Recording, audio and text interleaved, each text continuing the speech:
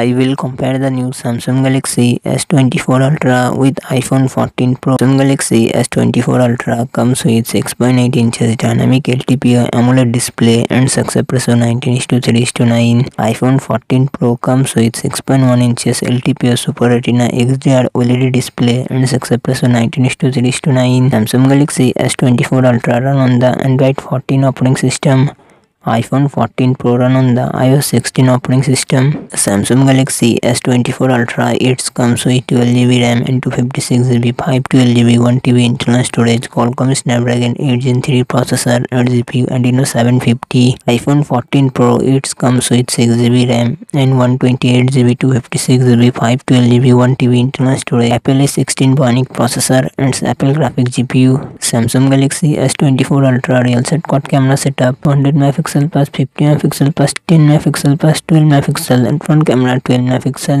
iphone 14 pro real set triple camera setup 48 megapixel plus 12 megapixel plus 12 megapixel and front camera 12 megapixel. Samsung galaxy s24 ultra 5000 mAh battery 45 watt fast charging support. iphone 14 pro 3200 mAh battery 30 watt fast charging support